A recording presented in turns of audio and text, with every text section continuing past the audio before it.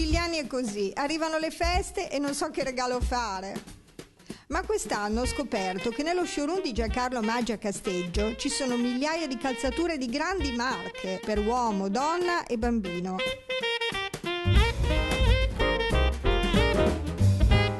Stile, comodità, qualità e prezzi vantaggiosi. In via Gramsci 18 a Casteggio, Maggi Calzature.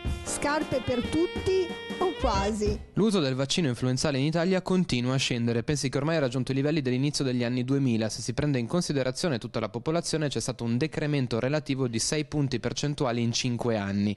Quest'anno la campagna è iniziata da poco ma il trend sembrerebbe confermarsi negativo. Lei quest'anno il vaccino l'ha fatto ha intenzione di farlo oppure no? Io non l'ho fatto e non l'ho mai fatto. Come mai? È una scelta? È una scelta perché fortunatamente non ho mai preso l'influenza e non, non mi sento di farlo. Ecco. Cosa pensa? Secondo lei perché c'è questo calo? Addirittura siamo tornati ai livelli del 2000, quindi 15 anni indietro.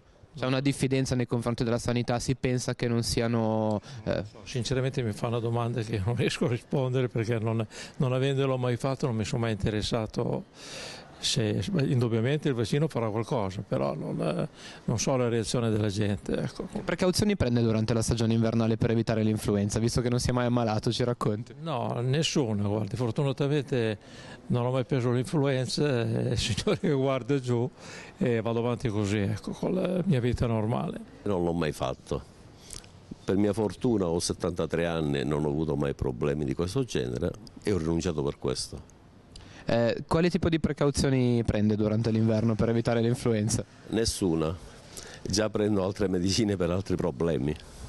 Cosa pensa del fatto che c'è stato questo calo tremendo nel numero di persone che hanno scelto di fare il vaccino? Beh, onestamente mm, insomma, c'è stato un allarmismo l'anno scorso, se non vado errato, e quindi questo ha scoraggiato parecchia gente. Io onestamente non l'ho mai fatto, quindi non l'ho non ho problemi, ecco. No, non ho mai fatto vaccini in vita mia. Quindi... Come mai? Perché mi sento abbastanza forte e mm, non ho bisogno, penso. Quando avrò bisogno lo farò. Cosa pensa del fatto che consigliano continuamente di fare questi vaccini? È tutto un interesse commerciale, per mio conto, il mio modo di pensare. Adesso consigliano anche ai bambini più piccoli di fare?